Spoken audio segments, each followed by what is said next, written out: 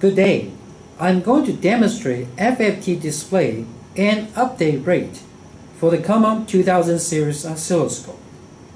Three oscilloscopes will be used for this demonstration, including the GDS 2000E, Keysight DSO X2008, and Rigol DS 2008.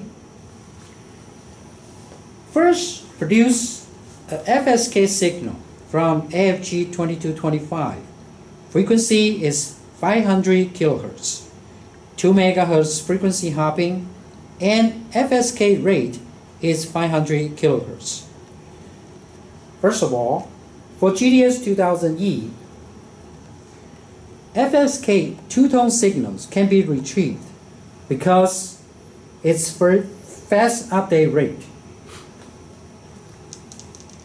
For Keysight DSO 2008, it has a slower update rate and only one K point display.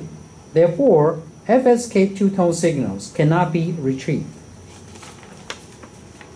For Rigol DS 2008, with the same problem as that of DSO X2008 shows a great difference between its frequency domain display and real waveform.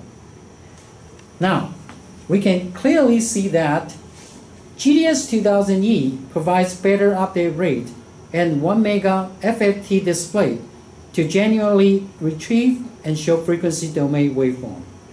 This concludes my demonstration. Thank you very much.